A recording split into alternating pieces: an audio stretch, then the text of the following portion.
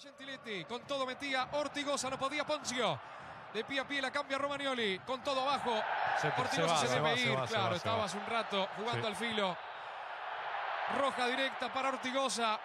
Expulsado el 20 de San Lorenzo por esta. Para el vestuario. Queda dolorido el hombre de River abajo.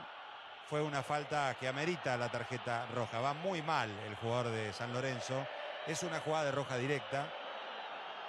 Y fue nomás así. Cae Mensegués y Ortigosa deja la cancha.